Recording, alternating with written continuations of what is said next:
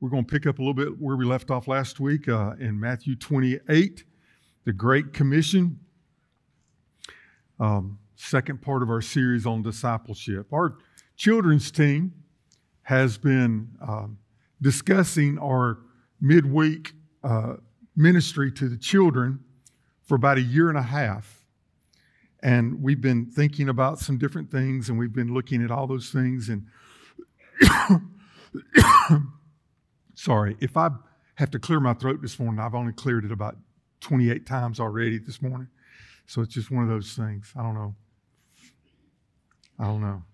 So um, there are many programs that are out there, and we really were trying to pray about what we wanted to do for our children. And I really shared my burden with the children's team, seven on the children's team, about what I would like to see God do with our children, our elementary school kids and the, the preschool kids. And we want to teach God, the children God's truth. But I also want us to listen to their struggles. And I think that sometimes we do so much talking to the kids, we don't listen back to the kids enough. And they're going through some stuff. They, they are really battling things that uh, I could never even have imagined when I was a kid. And not only teach them, but listen to them. And we need to apply God's truth to their lives, which I think is the desire for them. And then all of us, we need to model the correct behavior before them. They need to see it. They need some role models. They need some mentors. They need to not only hear the talk, they need to see or walk that's backing that up. And we're really preparing them to receive Christ, receive the gospel. And for some of them that are starting to hear the gospel, we need to start discipling them even now. And, and I've had this burden, and this is not a, a I'm not going to veer off and talk about the politics of the world, but um, they're being indoctrinated everywhere. I have a eight-year-old granddaughter. Y'all seen her? Her name's Evangeline. She's quite cute. Got blue eyes, real beautiful. She calls me Pops. Uh, love her to death. Don't get to see her enough. But she's a, a Girl Scout. And I don't know how many kids that they've got in their troop, but she has a boy in their troop in Girl Scouts. And the mom came and explained it to the troop that uh, though she was, though, in her words, she, these pronouns are killing me, though he was born a boy, he now identifies as a girl. Eight years old. The world is disciplining our children. They're discipling, I should say, our children. And what is the church going to do about that? I, I saw a post on Facebook, and they said, Tell us what you think about prayer in school. And they're meaning not quiet prayer, but teaching prayer. And I said, No. If that offends you, let me say it a little louder. No. I don't want somebody who I don't know if they know Christ or not teaching my children to pray. I'll teach them to pray. I'll pray with them. We have the church. We'll teach our children. We'll disciple our children. You teach my children math and to read and to write and amen and, and leave that stuff alone. I, now, I grew up where in first grade we, we quoted Psalms 100. That's not today. And I don't want that, those things happening. We, we need to understand that we're supposed to follow the biblical mandate that we're going to talk about. It's a commission. We need to make a commitment to that. And it needs to be a strong commitment because the world has made a commitment. And I don't know that you know this or not, but the world is aiming at our children. They want your children, they want your grandchildren. For some of you who are so honored and blessed, they want your great grandchildren. And they want to see it, they want to see it modeled in the world, and it is. And to that, I want us to pray. Would you bow with me? Father, thank you for the gift of life, for making us the way that we are. I, I thank you for making me, for giving me a mom and a dad. And I have brothers and I have sisters. and I know who I am, and my identity is in the reality of how you created me and how you love me. And Father, as a church, we've gone along and we haven't done the job that you wanted us to do. And I pray that we'll make a commitment to that today. Lord, that we would be strong in our love for everyone and we'll follow the pattern that you set, your word, your truth, that is a blessing to us if we will receive it. I pray we receive it today. In Jesus' name I pray. Amen. If, you're, if you have your Bible, stand with us in honor of reading God's word. Matthew 28. Let's begin verse 16. Then the eleven went away into Galilee to the mountains which Jesus had appointed for them. When they saw him, they worshiped him, but some doubted. Jesus came and spoke to them, saying, All authority has been given to me in heaven and on earth. Go therefore, make disciples of all nations, baptizing them in the name baptizing them in the name of the Father and of the Son and of the Holy Spirit. And I don't know if you could hear Ben on his mic this morning, but that's exactly what he was saying. He was doing it in the name of the Father and the Son and the Holy Spirit.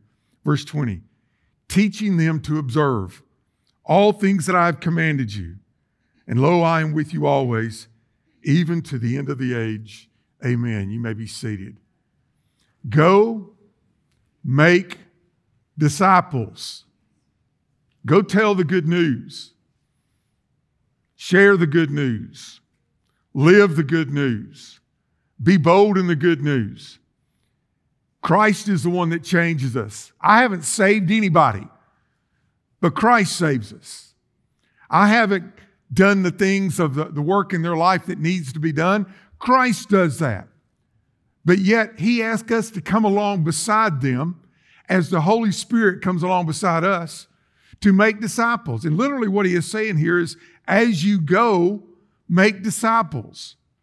That's what he's saying. And then he says in verse 20, teaching them. Teaching them. The root word there is deo for teaching, which means to learn, to instruct, to instill doctrine, to explain teaching to expound on a thing. 97 times in 91 verses in the New Testament, this word has been used.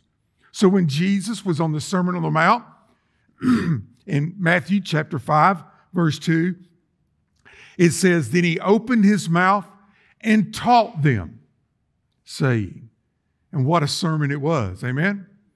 Then in the end of the Sermon on the Mount, Verse 29, the reaction was, For he taught them as one having authority, the authority of God.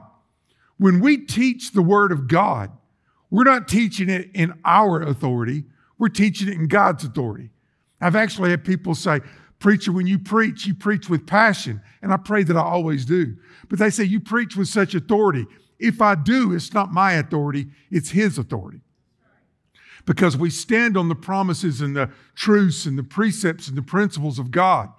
And we don't just say those things, we live those things. He said, For you teach them as one having authority and not like the scribes. You know when you feel the authority of God and you know when you don't. Nobody else needs to describe that to you. We know when it's God's word. But this word teaching means not only to instruct, it also brings this thing in of shared dialogue shared dialogue and discussion with others. in Robert Coleman's book, The Master's Plan for Evangelism, he said this is how God did it. Jesus chose 12 men. Now, there were more followers that you could actually call disciples. In the upper room, there was 120. There were people that followed at a, at a somewhat close place. You are a good man, Rick. Church, y'all need to give him a promotion.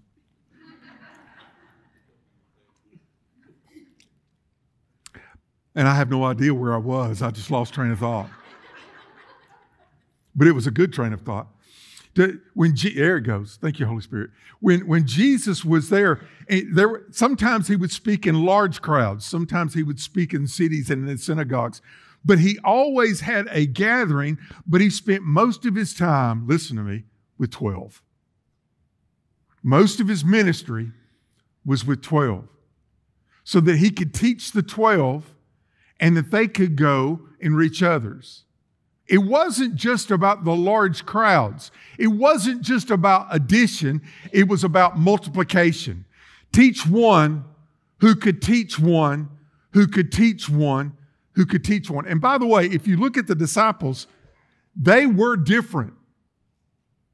Not one of them was alike.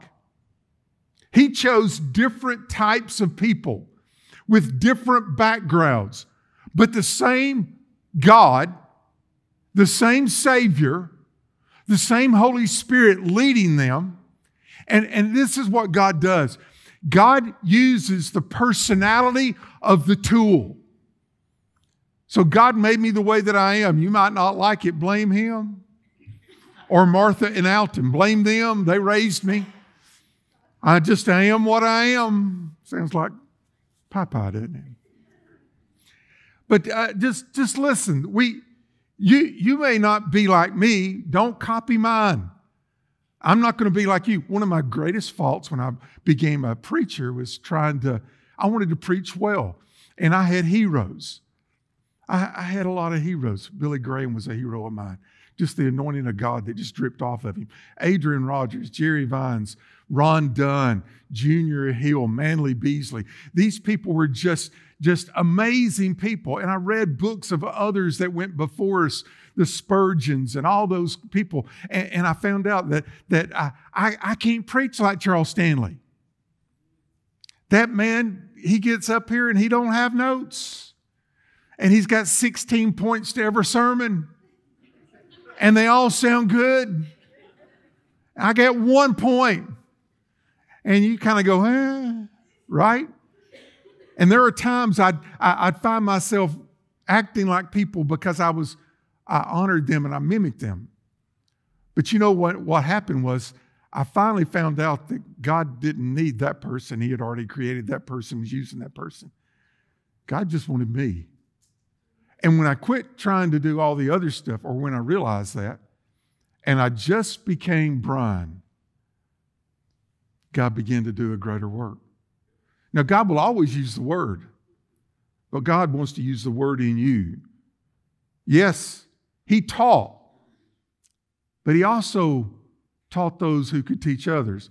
In Colossians chapter 1, verse 28, the Word of God says this Paul says, Christ we preach, warning every man and teaching every man in all wisdom, that we may present every man perfect and complete in Christ Jesus. That's our commission. Second Timothy, I love the book of Second Timothy, Paul's last letter. In the second chapter, in the second verse, he says this And the things that you have heard from me among many witnesses, commit these things to faithful men who will be able to teach others also. You know what that's called? Discipleship. Teach some who can teach others. Have conversations with some who can have conversations with others. He says in verse 20, Matthew 28, verse 20, teaching them to observe. The word observe means to attend to carefully to watch over it, to guard, to take care of it. Teach them to observe. Really, what he is saying is this teach them to observe, which means to observe it, to watch it, but do it. Carefully do it. Teach them what it means to do it. Let them watch you and mentor them. Aren't you grateful you never heard my first sermon? By the way, it was 45 minutes long. I had three points, 15 minutes on each of my three points. I had a preacher there who came just to hear me preach. And I said, How'd I do? He said, You did fine. Could have been a little shorter. I'm still battling those things today. Isn't that crazy? Teach them to do. What does this mean practically? It means to have a proper application of Christ's teachings as it is, listen to me now, discussed, learned, and then practiced. Now, this is the time when I preach. They did this even back then. They would go to the synagogues and they would open the scrolls and they would preach the scripture. But that's not enough. Jesus would preach to large crowds, he would go to the synagogues and all that, but he spent the vast majority, the vast majority of his time talking to people one on one, going to houses. And he would be there in a house with no more than four to six people. They'd share a meal and he would talk to them. He would answer their questions. You see, the Word of God, it's best understood when you get a group of people together and they begin to say, Well, I thought it said this. Does it say this? How does that apply to our life? Now, this is the magic. I hope you're hearing me. This is the magic. I, I, I have a small group. I have six people. I'm about to start another one. I'll start as many as it takes, Rick. We, we've got people in here who can do this. We'll do this as a church. You need to be in a small group, whether it's Sunday school or, or, or that. But my group, I get a group of men because I want the men to know how men should be in this world. Not what the world says they should be, but what the Word of God says they should be. We need to raise them up. And, and ladies, I've always said girls need girls. You don't need me in that group. Amen? You just, y'all, y'all can talk about us all you want to. Just don't do it in front of me. Titus chapter 2. Y'all need to be there for each other.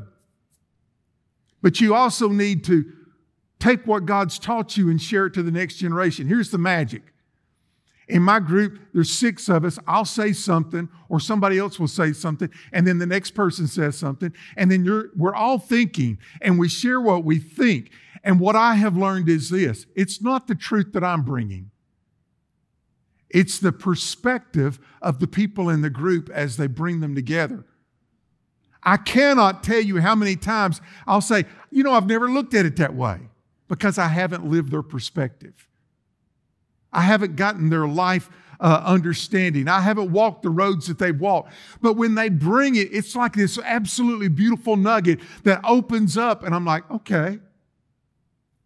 And when we do this as a group, people don't go to small groups because they'll say, I'm afraid I'll have to say something. You just say what you want to say.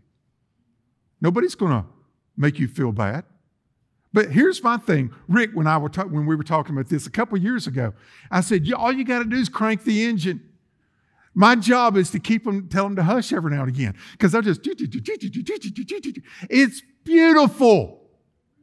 It's wonderful. It's life because you see, people are investing in each other. We need the whole group. It's not just me up there talking all the time. I told you last week, you retain how much? 3% of what I say. You get in a small group, you'll retain 20%. You get in a small group where you're discussing it back and forth and everybody's contributing, get this the retention goes to 40%.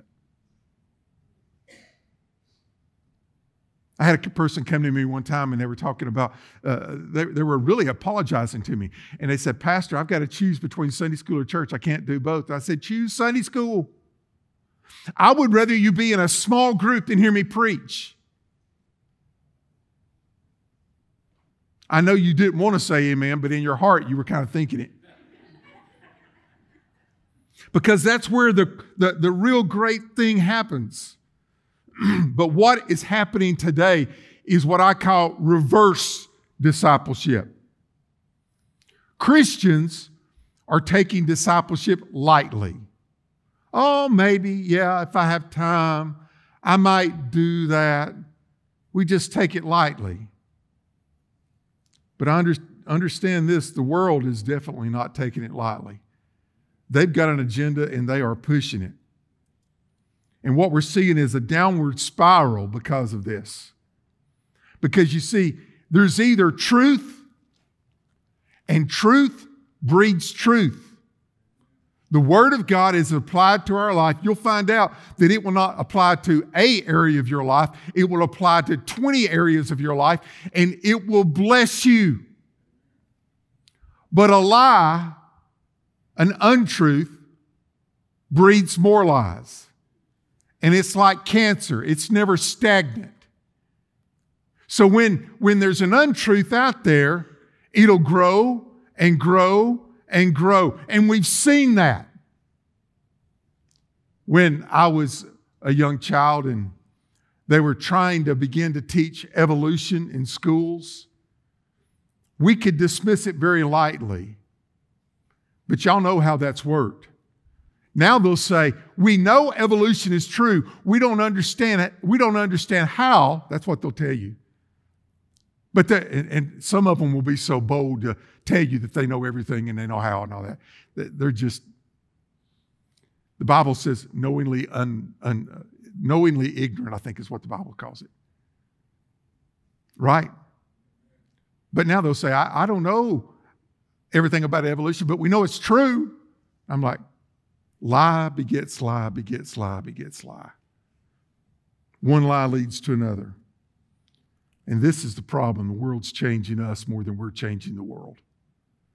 God called us to change the world, but we're being discipled by the world more than the world's being discipled by us. We don't want to fight, so we've become quiet. And we've taken the microphone and handed it to the, to the idiots. And the idiots are out there, they're just looking for a place to stand up and preach. And with time, you know, I feel for my Methodist brothers and sisters. There was a day and time in our country, then there were more Methodists than there were Baptists. But what they did was they got a progressively uh, more understanding and tried to embrace the things of the world. And they began to watch. Couple years ago, I believe it was three years ago, that they had a vote in the Methodist Church. And around the world, it was, it was overwhelmingly for the truth and the inspired word of God. But in America, it barely passed. So, what they said that they had to do was they had to get all these narrow minded people who believed in the inspired, infallible, inerrant Word of God out of the leadership in the pulpits, and, and, they had to get these other people. Now, in the Methodist church, you, you don't pick your pastor, it's sent to you.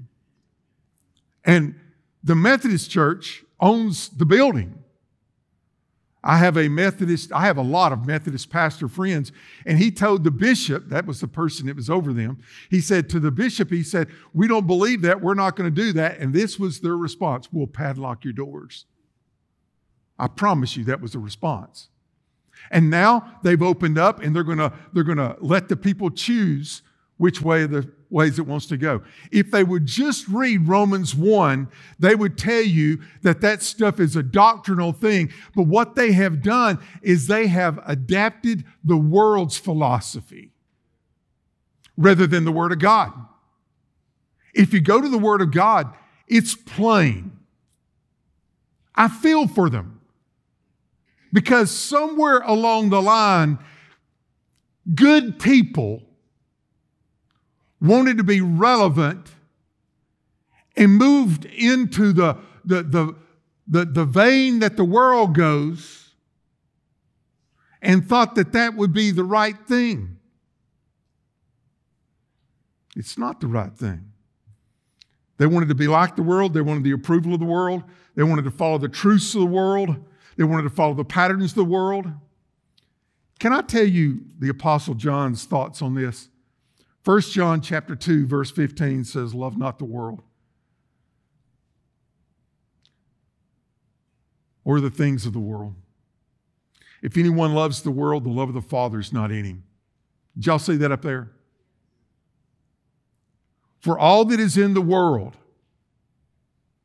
and this is the three tools that Satan uses the lust of the flesh, the lust of the eyes, and the pride of life. He doesn't need to come up with a new one. These have been working from the beginning, and he's good at what he does. The lust of the flesh, the lust of the eyes, the pride of life is not of the Father, but is of the world. Verse 17. And the world is passing away, and the lust of it. But he who does the will of God abides forever. That's what John tells us. Let me tell you what Jesus said about this. Y'all good with that? In Matthew chapter 15, verse number 7, when he's speaking of the scribes, the people who were the people of the book, and the Pharisees who were supposed to be leading Judaism. He called them hypocrites. Well, did Isaiah prophesy about you, saying, and here he's quoting Isaiah These people draw near to me with their mouth, they honor me with their lips, but their heart is far from me. Why? And in vain they worship me, teaching as doctrine the commandments of men. This is reverse discipleship. What we need is not the discipleship of the world. What we need is to be tied in to the Word of God. We need to have integrity to Scripture. And we need to value people. You're important. Please understand this. In discipleship, it's not just the teachers the magic, the, the goodness of God, the, the, the anointing of the Holy Spirit is when God's people come together and discuss the Word of God together. The Holy Spirit will meet you there. He is the paraclete. That means He is the one who comes along beside us. So when you meet in His name and you discuss His will and His way, He will honor it. Our goal is just to help you fall in love with Jesus more than you ever have before and be a passionate follower of Christ. There was a Russian author by the name of Leo Tolstoy, Tolstoy who said this Everybody thinks they ch- of changing the world, and no one thinks of changing themselves. Why don't we just start with all of ourselves? Just, you know, the Bible says that humble yourself before the mighty hand of God. Understand you need this. Don't let Satan take you in your pride and say, I don't need that. It's not important to me. I shouldn't, I, I don't have to value that. You should value it. There was a church in the book of Revelation, the very first church that Jesus spoke to, the church at Ephesus. They had strong theology, but they had left their first love. We need to Holy Spirit to blow in the embers of a group of people together who will keep each other accountable, speak life into each other, and allow God to do a great work. Abraham Maslow says this What a man can be, a man must be. Why is it that God should give so much of this blessing to you and you just ride on the coattails of that. Some of you are so blessed. You have gotten so much giftedness. And you're just keeping it to yourself. And somebody needs that encouragement. Somebody needs your knowledge and your wisdom. Somebody needs your perspective. I've worked with addicts since 1994. It kind of recharges my batteries. I actually like going to the group, and you don't have to convince them that they've got a problem. They know they've got a problem. Their, their lives have fallen a, apart. And when they first come in, man, they're just broken. And I've worked with 12 step programs. And I'll, I'll, I'll be, be, y'all listen. I got to be very careful because some of those 12 step programs have taken the world and let the world in. And they say, oh, you just need a higher power. And you can make a, a paper clip your higher power. You know what that's called? Stupid. There's one God.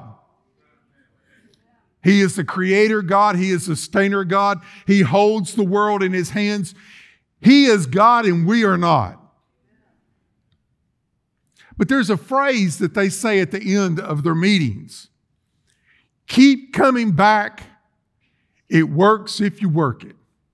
Now, hold on. They've just had a discipleship group. There'll be all these people that are there, and they'll share their stories, and they'll talk about the truths, and they'll start applying those truths to their life. And, and maybe they'll come with their, their pail empty, and somebody else will encourage them and, and fill it up. Most of the, I believe in one step, not 12 steps. I don't have a problem with any of the 12 steps, but I believe in taking one step, and that's Christ and Christ alone, the hope of glory and, and being modeled back in the image of Christ. But I don't have a problem with going through all of those things. But there's a phrase that I think you need to hear. Listen, and you're, if you've been a Christian for a while, you need to hear this. When you stop doing the things that made you what you are, you cease to be the person that you had become. We all need to continue to be discipled. We need personal discipleship, prayer, time in the Word of God. We need to, we need to that, that time of listening before God. But we also understand that we need to be in a group where I may be lacking, but you may be there to help me. I may be there and I can help you there when you're lacking. This is God's structure.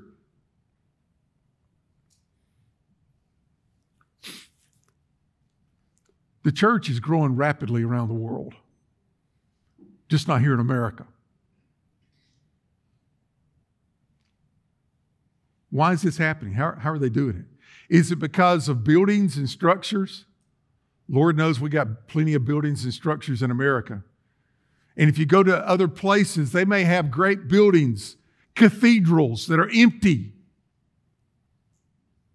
But all over the world, Christians are sharing their faith and people are getting saved and they're getting together, whether it may be in their house, it might be in a hut, it may be that they meet in some other place. They don't have the building that we have. Jesus didn't either. It's not the buildings and the structures. It's not the Bible colleges and the seminaries. If that were the case, America would be the most holy nation in the world. We've got the Bible schools, we've got the seminaries, and we're producing it. But look, I love what uh, R.G. Lee said in, in, in 1974. It was a, a million more in 1974. That was their slogan. And R.G. Lee says, if we get a million more like we have right now, we're going to go bankrupt. We need to produce what God wants us to produce. Acts chapter 20, I promise you, this is my last scripture. Paul had gone to the church at Ephesus. He had been there for a while and he was coming back to visit them.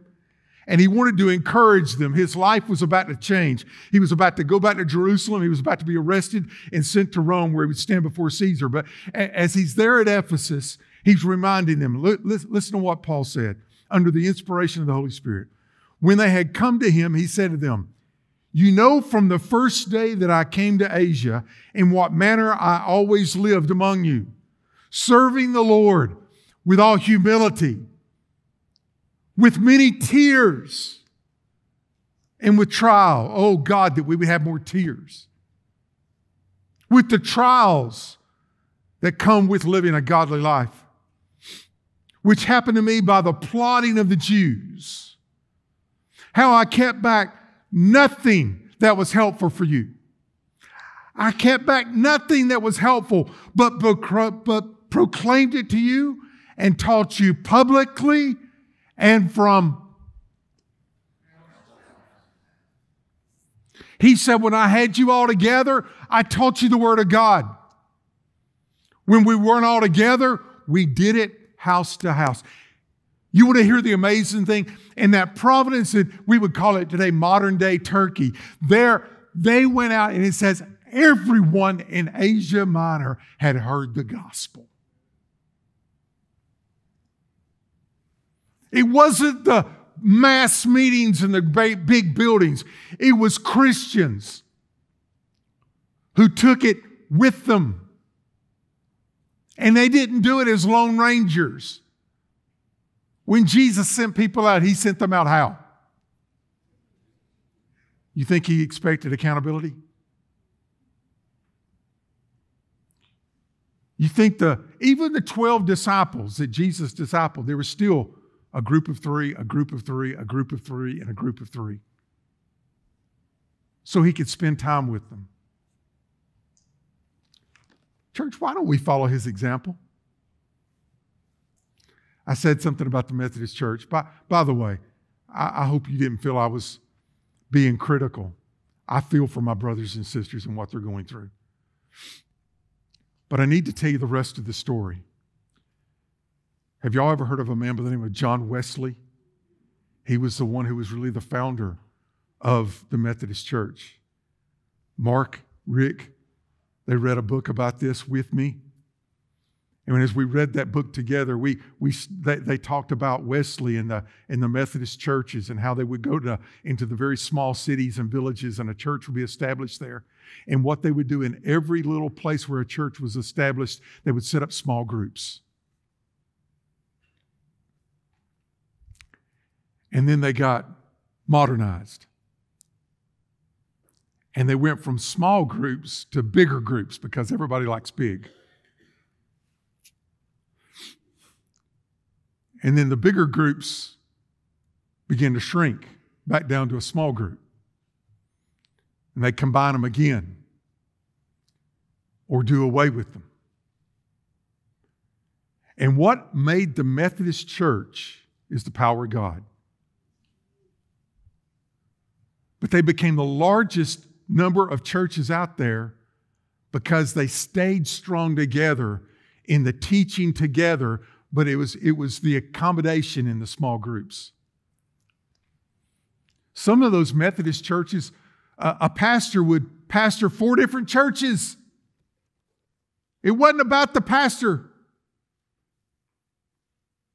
They would have had to get it in one sermon for a month.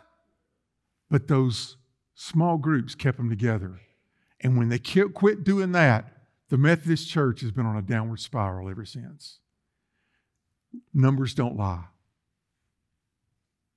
And Baptist, if we're not careful, we're going to follow the example. God forbid. I just don't know why people don't want to come. I just don't know why. Maybe we need to make it personal where there can be, and I say this in the most reverent way I know how to say it. Intimate discussion, supporting each other, praying for each other and with each other, loving each other, checking on each other, being like Christ. That's right. God help us get back to the main things that Jesus taught us. As you go, make disciples, teaching them to observe all things I've commanded you. And I'll be with you always, even to the end of the world, the end of the age.